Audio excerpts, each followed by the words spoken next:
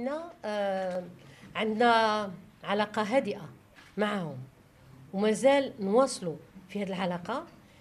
والشيء فقط اللي كان فيه خلل أن آه، لما آه، تكلموا وقالوا باللي هذا الدخول المدرسي غادي يقوموا بعمليات احتجاجية أو الإضرابات ما كانوا حطوا على المستوى الوزارة اللي هو شيء يعني شرعي يعني بيانات اللي إحنا نجموا نطالعوا عليها.